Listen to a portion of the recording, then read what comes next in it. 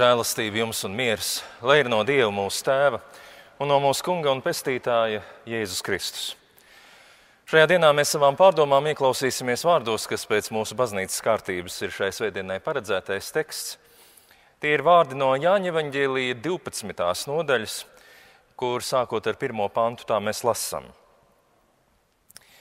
Sešas dienas pirms Paskas svētkiem Jēzus atnāca uz Betāniju kur bija Lācars, ko Jēzus bija uzmodinājis no mirušiem. Tur viņi Jēzum sagatavoja mīlestību. Marta apkalpoja, un Lācars bija starp tiem, kas sēdēja kopā ar Jēzu pie galda. Tad Marija, paņēmusi mārciņu īstas, dārgas nardu eļļas, svaidīja Jēzus kājas un žāvēja tās ar saviem matiem un nams pildījās ar svaidāmās eļļas smaržu. Bet Jūda izskarjots, viens no viņa mācekļiem, tas, kurš viņu vēlāk nodos, sacīja, kādēļ šo svaidāmo eļļu nepārdeva par 300 denārijiem un naudu neizdalīja nabagiem. To gan viņš nerunāja tāpēc, ka viņam rūpēja nabagi, bet tāpēc, ka bija zaglis. Pāraudzīdams kopīgo naudu, viņš piesavinājās ziedoto. Tad Jēzus sacīja, liec viņu mierā, lai viņa to saglabā manai bērnu dienai. Jo nabagie vienmēr būs pie jums, bet es pie jums nebūšu vienmēr. Āmen. Debes Tēvs, mēs Tev pateicamies, ka Tu ļāvi mums dzirdēt Tavus vārdus. Mēs Tev lūdzam svētī mūs tos pārdomājot.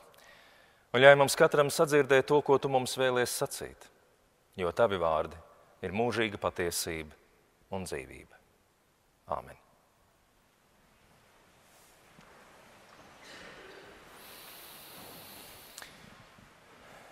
Dažkārt Bībeles teksti ir tik ļoti bagātīgi un ļoti koncentrēti, ka ir pat grūti aptvert, ko no tā visa var paspēt vienā reizē apgūt, vai vēl jau vairāk kādam citam pastāstīt.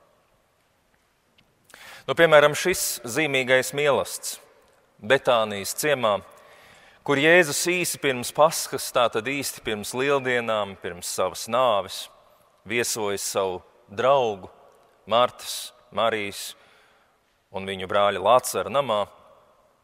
Šis īsais teksts pavisam noteikti pieder pie šādiem īpaši piepildītiem un dziļiem notikumiem. Trīs grandiozi lielas tēmas tiek aizskartas šajos nieka astoņos pantos.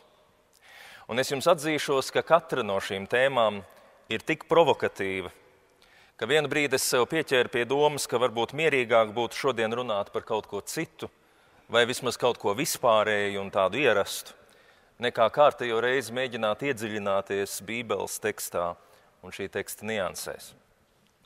Jo redziet, Bībeli lasīt it īpaši darīt to godīgi, ir ļoti grūts uzdevums. Daudz cilvēku saka, ka vajagot Bībeli lasīt vairāk, taču ar to viņi parasti saprot, ka mēs ātri skrienam cauri tekstam un atrodam to, kas atbilst mūsu priekšstatiem. Daudziem kristiešiem liekas, ka rūpīga Bībeles pētīšana ir teju vai kaitīga.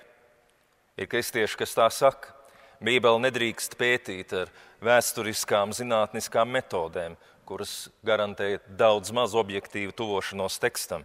Bet visu vajagot lasīt tā, kā lasīts vienmēr. Bet, kā jau sacīja, tas nozīmē, ka mēs nevis lasām Bībeli, bet mēs to izmantojam savas teoloģijas aizsagam. Un tomēr, lai kāds ir kārdinājums aizbēgt, es uzskatu, ka lasīt Bībeli ir ļoti vērtīgi. Jo tā vēl ar vienu ir grāmata, kas ir tālu priekšā mūsu izpratnēji, mūsu dzīves izjūtai. Tas ir avots, kura noslēpumi netuvu vēl nav apgūti. Nu, Tātad trīs lielas satraucošas tēmas. Tā pirmā tēma par nāvi un augšām celšanos. Otrā par sievietes lomu Kristus valstībā. Un trešā par viltus mācekļiem un viltus apstuļiem. Un es domāju, jūs jūtat, vai ne? Varbūt labāk runāt par kaut ko vispārēju. runāt tā, kā to dzirdējām lasījumā no apstuļa Pāvila, runāt tā, kā ausis niez, vai tā, kā cilvēkiem patīk, runāt kaut ko par mītiem, par pasakām, par tādām labām lietām, bet īstenībā tādām, pie kurām mēs vienkārši esam pieraduši tās dzirdēt. Bet nu tomēr. Tātad pirmais temats saistās ar Lācaru, Martas un Marijas brāli. Redziet, Jāņa Evanģēlijas izvēlas ļoti interesantu un rūpīgu valodu. Tā ir kā viņš gribētu pasargāt lasītājus no kāda šoka, kam varbūt viņi vēl nav līdz galam gatavi, un vienlaikus tā, lai savējie varētu vienmēr saprast. Un tā tad mēs lasām, ka pirms paskā, pirms tātad savas nāves, Jēzus vēlreiz iegriežas Martas un Marijas namā, Betānijā. Un tālāk, oriģinālais teksts saka tā, tā vietā, kur bija mirušais Lācars, ko Jēzus bija uzcēlis no mirušiem. Un Bībeles tulkotāji parasti ļoti cīnās ar šo tekstu. Mirušais Lācars, kuru Jēzus uzmodinājis. Daži pamanās izlaist šo vārdu mirušais, lai lieki nemulsinātu lasītājus. Citi lieto visādus palīgi teikumus. Lācars, kurš bija miris, bet kuru Jēzus bija uzcēlis no mirušiem. Bet oriģināla teksts saka šo ļoti pretrunīgo lietu. Tur bija mirušais Lācars, ko Jēzus bija uzmodinājis. Ja viņš ir uzmodināts, tad jau viņš vairs nav mirušais. Bet ja viņš ir mirušais, tad jau viņš nav uzmodināts. Kāpēc atstāt šādu pretrunu? Un tad vēl turpinājums tiek sacīts, ka tur viņi sarīko Jēzu mīlestību. Un Marta gribas gluži sacīt, kā jau parasti. Marta apkalpo pie galda. Kā bieži tas ir noticis šajā namā, kad Jēzus tur viesojās. Un tad mēs lasām, un Lācars bija starp tiem, kas tur sēdēja pie galda, piedalījās mīlestībā. Un es jums līdzdalīšu to, ko, manuprāt, Jānis dara šajā tekstā.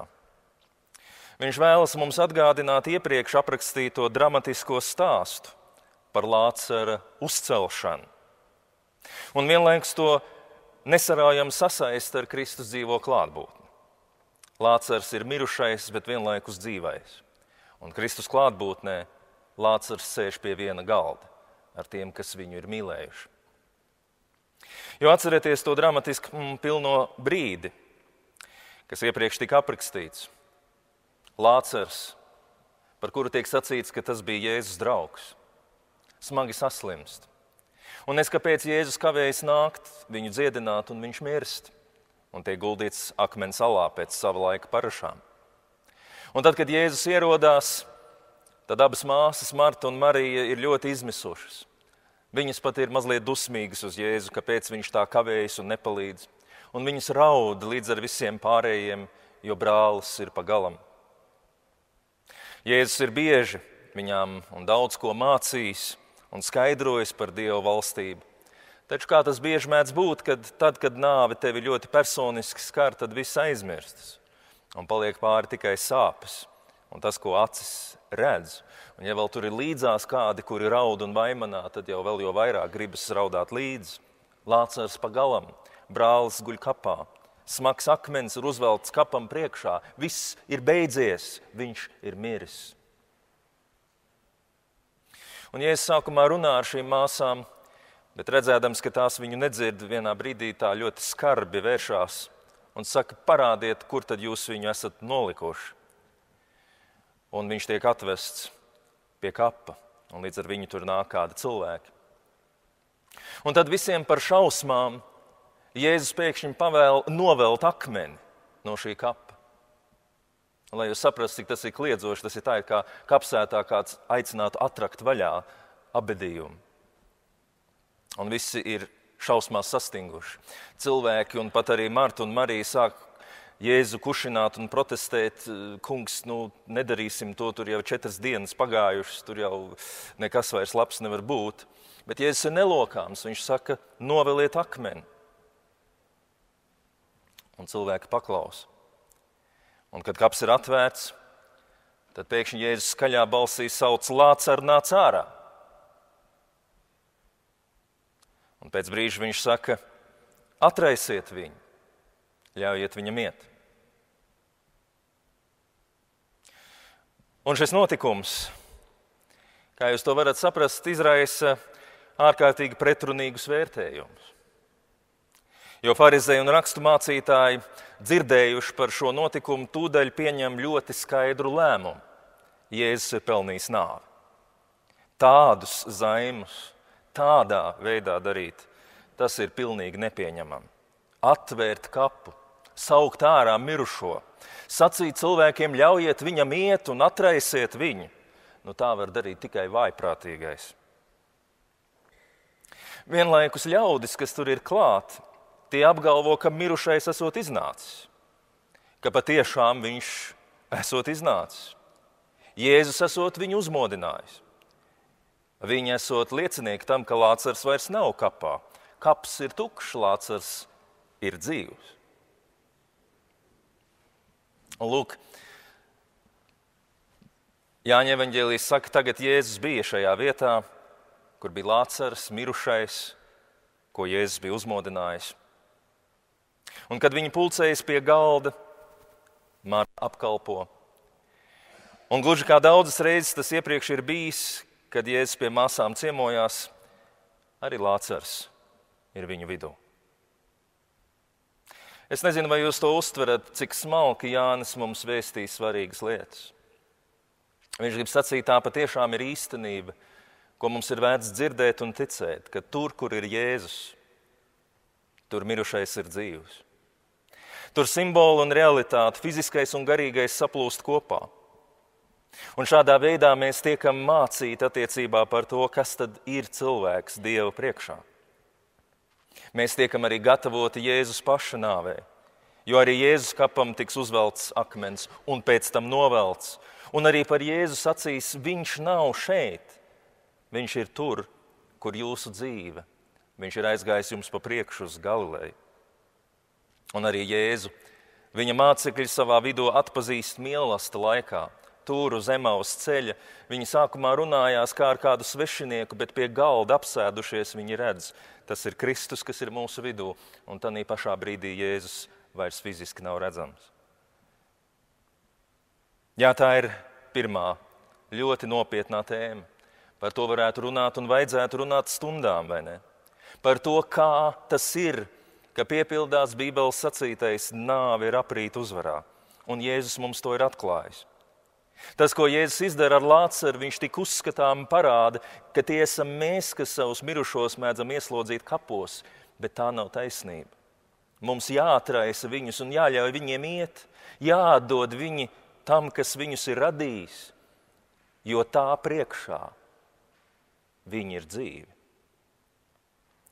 Jēzus klātbūtnē piepildās viņa paša sacītie vārdi: Ejiet un mācieties, ko tas nozīmē. Es esmu Abrahāma Dievs, Īzaka Dievs un Jēkaba Dievs. Dievs nav mirušo, bet dzīvo Dievs. Un tas, ko Jēzus kā vienmēr izdara, ir, ka viņš ar savu neparasto rīcību, milzīgo garīgo spēku, viņš paveic brīnumu kura rezultātā Dieva valstības tuvums vairs nav nākotnes lieta, kur mēs gaidām kaut ko, bet tā ir tagadne. Mēs sākam redzēt, kā Dieva klātbūtne visu maina. Tikai svarīgais šeit ir nemēģināt atraut augšām celšanos no Dieva personas, no Kristus personas, no Jēzus tuvuma. Jo tikai tad, kad Jēzus ir atnācis Martas un Marijas namā, Lācis atkal sēž pie viena galda ar savējiem. Nu, tāda milzīga liela tēma, pirmā tēma. Tad līdzās ir otra, ne mazāk svarīga, ne mazāk provokatīva, es jums atzīšu. Un tā savukārt saistās ar Mariju, ar otru no māsām. Atceraties arī par to, Jānis ir daudz rakstījis, ka Marija bija tā, kas mēdza sēdēt pie Jēzus kājām un viņā rūpīgi klausīties, kamēr viņas māsa Marta cītīgi apkalpo pie galda. Tā tas ir bijis bieži. Bet šodien notiek kaut kas neparasts. Mēs lasām, ka Marija acīm redzot, piedzīvojusi visu to, kas iepriekš sacīts, ieraudzījusi Jēzu dzīvības avotu, ieraudzījusi tur atbildi uz savām bailēm un jautājumiem, viņa grib izdarīt kaut ko īpašu. Viņa ir atnesusi dārgu, īstu, mēs lasām nardu eļļu. Un saskaņā ar jūdu tradīcijām eļļa, smaržīgā eļļa, tika lietota parasti divos gadījumos vai divos veidos. Tad, kad kāds cilvēks bija jāiesvēta jaunā statusā vai amatā, piemēram, par ķēniņu, vai par pravieti, vai visbiežāk par priesteri, tad parasti eļļa tika lieta pār cilvēka galvu, par zīmi tam, kā svētais gars nāk pār viņu un pārvērš un iepriecina. Un savukārt otrs gadījums, kad eļļa tika lietot, bija tad, kad kāds cilvēks bija miris. Bet tad eļļa tika lieta nevis uz galvas, bet uz cilvēka kājām, par zīmi viņa aiziešanai no šīs pasaules. Un atkal mēs varam, protams, tikai nojaust, jo Jānis ļoti diskrēti maz par to runā. Mēs varam tikai nojaust, kas tur patiesībā notika. Vai Marija tā apzināti gribēja pravietot to, ka Jēzus mirs? Tā gan būtu tāda dīvaina, mazliet priekšlaicīga lieta. It kā kādam dzīvam cilvēkam kāds atnestu līķautu un pārsaktu pār viņu galvu. Mēs darām tā tad otrādi. Bet Varbūt tur notika kaut kas cits. Varbūt viņa taisni gribēja svaidīt Jēzu par jauno ķēniņu un pravieti, bet kā tas dzīvēm liktenīgi mēdz gadīties, eļļa izlīst un izlīst uz Jēzus kājām. Un satraukumā Marija nezina, ko iesākt. Viņa metas pie šīm kājām un ar saviem matiem viņa sāk slaucīt šo eļļu, lai novērstu pēc iespējas ātrāk šo nelabo zīmi, kas visiem liek sarauties un sastingt nelabās priekšnojautās. Lai kā tas arī nebūtu, viņi izdara to, kas pabeidz iepriekšējo stāstu. Iedomājieties, Lācars ir dzīves, viņš nav kapā. Bet kā reize šī lācara atdzīvināšana, un atraisīšana un atdošana māsām, kā jau es to sacīju, nozīmēja nāves spriedumu Jēzum. Un tā ir tāda īpatnēja apmaiņa ko Jēzus mums dāvina, kur viņš atdod sevi, lai mēs varētu dzīvot. Vai pareizāk sakot, viņam bija jāmirst, tāpēc, ka viņš iemācīja mūs dzīvot un gribēja mūs iemācīt dzīvot. Viņam jāmirst, lai mirušie tiktu augšām celti, garīgā un fiziskā nozīmē. Marija koncentrējas uz Jēzu, viņa ir uzticīgi pieķērusies viņam, Bet es nezinu, vai jūs to pamanāt. Kas ir šī notikuma lielākais šoks? Tas, ka viņi izlēja eļļu pār Jēzus kājām, ir tiešām traka zīme. Taču viņa neprātojot nometās pie šīm kājām. Un jau nākamajā mirklī mēs lasām, nams piepildījās ar smaržu. Un tas ir tāpēc, ka šī karaliskā eļļa kas domāta ķēniņa, priestera vai pravieša iesvētīšanai, kas izliet uz Jēzus kājām un norāda uz viņa nāvi. Šī eļļa, Marijai to noslaukot ar saviem matiem, ir uz viņas galvas. Tā eļļa ir nonākusi uz viņas galvas. Un kaut arī klātesošie varbūt līdz galam vēl nesaprot visu līdz detaļām jo dramatiskākie notikumi stāv vēl priekšā. Tas ir, ko Jānis šo notikumu liecinieks bija ieraudzījis. Tur pie Jēzus kājām tieši Marija saņem šo lielo svaidījumu, kas apzīmē viņas misiju un uzdevumu. Un viss nams piepildās ar smaržu. Jēzus ir sagatavots savai nāvei, bet Marija ir sagatavota jaunam uzdevumam - dzīvot citādu dzīvi, liecināt par citu dzīvi un ienest šajā pasaulē citu dzīvi. Un atkal ļaujiet man jautāt, ko mēs darām ar šo tekstu. Šajā laikā un vietā, kur mums ir tik maz spējas izlasīt to, kas ir rakstīts, bet ir tik lieli cilvēku ego, kuri visi jau zina, kas ir un kas nav pareizi, un ko drīkst un ko nedrīkst cilvēki darīt. Un es nezinu. Es zinu tikai to, ka Marija tiešām bija starp tām sievām, kas pirmās piedzīvoja Jēzus augšām celšanos un pirmās to pasludināja.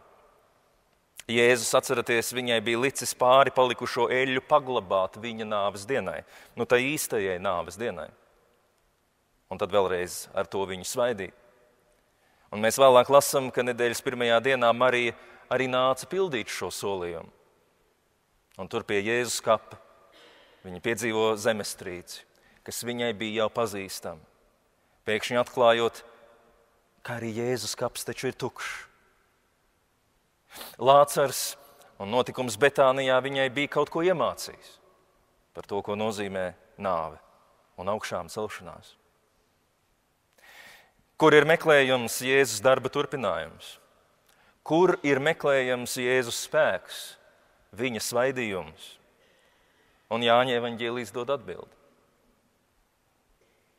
Jautājums, cik mēs esam spējīgi un griboši to izlasīt. Un visbeidzot, trešā, nemazāk provokatīvā tēma. Tā vēstīja par to, ka turklāt ir vēl viens kāds Jēzum īpaši uzticīgs māceklis. Vārdā Jūda no Kariotas ciem. Jūda izkarjots vai īškarjot nozīmē vīrs no Kariotas. Jūda izkarjots, kā mēs varam secināt, bauda lielu uzticību. Uz to norāda tas, ka šim cilvēkam ir uzticēts turēt mācekļu kopīgo maku. Un mēs taču zinām cilvēku psiholoģiju. Ja kādā grupā kādam uztic naudu, tad tas ir tāpēc, ka pārējie viņam nedalīt uzticās. Tobrīd mācekļu jūdu uzskata par ļoti dedzīgu, ļoti nelokāmu, ļoti taisnīgu cilvēku, tādu, uz kuru var paļauties. Un redzēdams to, ka šī eļļa ir izlieta šādā ļoti jocīgā veidā pār Kristus kājām un pār Marijas galvu. Jūda sāk protestēt. Kāpēc tu nāc ar šo eļļu? Kāpēc šī eļļa nav pārdota par 300 denāriem? Tad jau labāk būtu izdalīt to nabagiem nebūtu viss šis notikums. Varbūt jūda tā cenšas novērst sliktās priekšnojautas, vai varbūt viņam nepatīk tā smarža, kas tur plūst no Marijas matiem. Bet Jānis mums atklāja, ka jūda to ir sacījis tāpēc, ka patiesībā nav bijis godīgs. Un runa nav tikai par naudu. Redziet, ziedojums jūdi sauca par žēlastību. No tā arī jēdziens žēlastības dāvana. Jūda citiem vārdiem, un to mēs grieķiskajā tekstā līdz galam neizjūtam, ir Jēzum un mācekļiem piederīgās žēlastības glabātājs vai turētājs. Bet tā vietā, lai viņš to dotu citiem, Jānis saka, viņš to piesavinājās sev. Un tā atkal ir tik eleganti Jāņa evaņģēlijas teiksme. Kas grib, var, protams, izlasīt vienkārši to, ka jūda bija zaglis, kā tieši tekstā arī sacīts, viņš zaga naudu. Bet kas grib, var ieskatīties mazliet dziļāk un ieraudzīt cilvēku, kas pats ir saņēmis žēlastību, kam tā ir uzticēta, bet kas to piesavinās sev. Un varbūt tas ir vēl lielāks grēks par atsevišķu naudas gabalu nozagšanu. Jo redziet, tas ir jautājums par viltus māceklību. Par to, ka cilvēks var sekot Kristum ārēji, ārēji būt viens no dedzīgākajiem viņa aizstāvjiem, bet iekšēji Jēzu līdz galam nesaprast un nepazīt. Un šeit arī nabago aizstāvības, žēlastības darbu vārdā Jūda vienkārši uzbrūk Marijai, jo kaut kas viņam nepatīk. Tā uzbruka, ka Jēzum nākas viņu apsaukt. Un atkal varam tikai minēt, vai tas vēlāk bija papildus arguments Jēzu nodot vai nē. To mēs nezinām. Bet mēs zinām un redzam to, ka šis uzticamais māceklis Jūda nebija tik uzticams un uzticīgs, kā ārēji tas likās. Un tas ir tāds atkal smags, un grūts, un provokatīvs un mūžīgs atgādinājums, ka par cilvēku nedrīkst un nevar spriest pēc ārējā tēla, pēc viņa izskata, vai vārdiem, vai nostājas, bet vienīgi pēc augļiem var pazīt cilvēkā mītošo garu. Un tur, kur auglis nav mīlestība, tur, kur auglis nav dzīvība, tur ir liels pamats aizdomām, ka patiesība ir aizstāta ar meliem. Kāds grib saņemt žēlastību no Dieva, bet negrib to līdzdalīt ar citiem. Piesavinās to. Nu, tādas trīs milzīgas tēmas mūsu šodienas pārdomu tekstā. Un ar to mēs tiekam sagatavoti pamazām šī gada ciešanu laikam. Kā jūs to pamanījāt, mēs sākam skaitīt laiku līdz lieldienām. Un ar šo visu sarežģīto lietu es gribēju tikai vienu lietu izcelt. Stāsts par Jēzu nav viena pasakīņa par to, ka viss ir labi, viss būs labi, viss ir kārtībā. Nē, nē. Tas ir dramatiskuma pilns vēstījums, kas runā par mūsu dzīves grūtākajiem jautājumiem un reizē svarīgākajām tēmām. Būt Kristus māceklim, tas nozīmē urpties cauri šai cilvēka dzīves un dvēseles slikti pazīstamajai teritorijai, mācīties redzēt to, ko līdz šim neredzējām. Un tas ir šī laika uzdevums, kurā mēs esam iegājuši. Nepadarīsim to par vieglu, nešļūksim tam pāri, bet veltīsim laiku, lūgsim Dievu, lai mums pietiktu drosmes.